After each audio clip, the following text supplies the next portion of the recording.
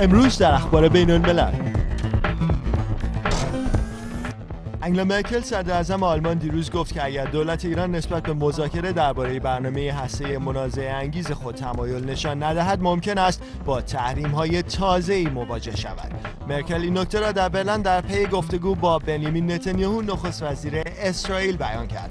نتانیاهو به نوبه خود خواستار تحریم های فلج کننده علیه دولت جمهوری اسلامی شد تا ایران مجبور شود برنامه تسلیحاتی هسته‌ای خود را متوقف سازد. نخست وزیر اسرائیل گفت که حتی اگر کشورهای عضو شورای امنیت سازمان ملل متحد به سبب مخالفت روسیه و چین در مورد تحریم های جدید علیه ایران به توافق نرسند ائتلاف موافقان تحریم می‌تواند تدابیر تحریمی خود را به اجرا بگذارد.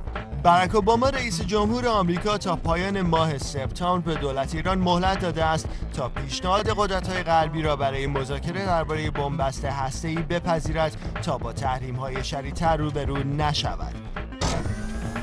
منوشهر متکی وزیر خارجه ایران امروز به دولت اوباما هشدار داد که از سیاستهای پیشینیان خود در مناقشه اسرائیل و فلسطینیان دوری گزیند. متکی که در برابر شرکت کنندگان مراسم نماز جمعه در اصفهان صحبت می‌کرد گفت طرح جدید صلح خاورمیانه کمترین خواسته های مردم فلسطین را هم تضمین نکرده است متکی گفت ما به دولت جدید آمریکا و پرزیدنت باراک اوباما هشدار می‌دهیم که در دامی که توسط سیاستمداران سابق آمریکا در مورد فلسطین پهن کردند نیفتد دولت اوباما روند صلح خاورمیانه را موضوع محوری سیاست خارجی خود قرار داده و رئیس جمهور آمریکا بر تعهد خود به تشکیل یک کشور فلسطینی تاکید ورزیده است. عراقی ها روز جمعه به مناسبت درگذشت رهبر متنفذ شیعیان آن کشور عبدالعزیز الحکیم به سوگواری پرداختند. حکیم دو روز پیش در اثر سرطان ریه در بیمارستانی در تهران درگذشت و پیکر او به وسیله هواپیما به عراق منتقل شد.